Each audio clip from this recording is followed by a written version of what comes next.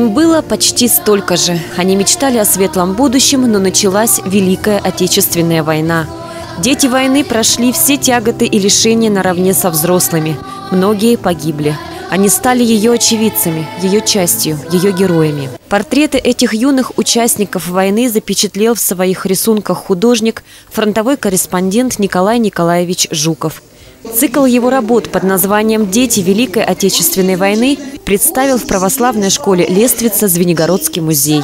Конечно, ребятам э, интересно всегда сопоставить себя в своем возрасте с детьми, ну, например, военных лет. И эти пронзительные картины, которые мы видим э, на выставке, они не могут оставить равнодушным ни одного ребенка. Сколько раз я замечала, э, как только вот картины появились в школе, когда дети не могут мимо пройти, они обязательно становятся, начинают о чем-то думать, мыслить. И, конечно, вот в это время идет работа души ребенка.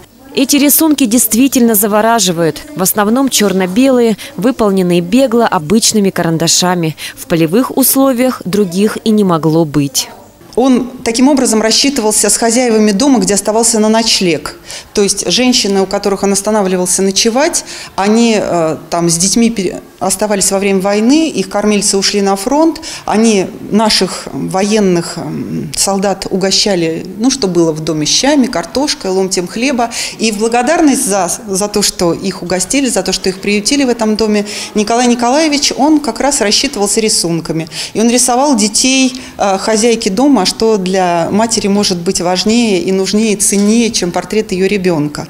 Организаторы выставки считают, что именно портреты детей, на которых внезапно обрушились все тяготы военного времени, лучше всего рассказывают о Великой Отечественной. Ученики православной школы изучили биографию и картины художника, поделились знаниями с одноклассниками, рассказали о своих любимых работах. Мне запомнилась э, плакат «Отстоим Москву», потому что она очень, ну, так сказать, даже трогательная, потому что там говорится о о Москве, которую, на которую нападали фашисты и хотели разгромить ее. Мне понравилась картина «Папа». Это скорее плакат. И их кидали к, немец, к немцам, чтобы они поскорее ушли к себе на родину.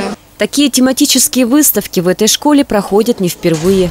Двери ее радушно открыты для всех, кто хочет познакомиться с работами художника Николая Жукова. Полина Бахова, Станислав Трифонов, телекомпания «Одинцова».